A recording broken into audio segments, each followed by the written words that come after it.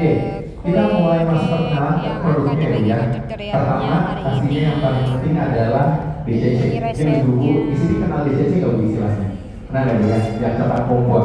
Nah, cuman kalau di kamar profesional, kita sebutnya singkatnya PHP ya bu ya, atau PhD ya, karena kepanjangan ya.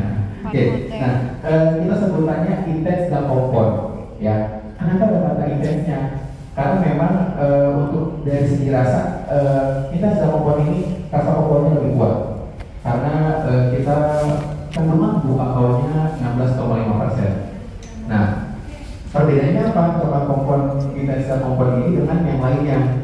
Nah, eh, yang kalau kalau misalnya saya ditanya ya dari ibu, saya selalu pernah bilang ibu suka bikin brownies gitu ya. Eh, oh dia suka gitu. Nah terus saya pernah eh, DCC mas. Yang satu itu eh, merek A gitu ya. Itu karena rasanya coklat.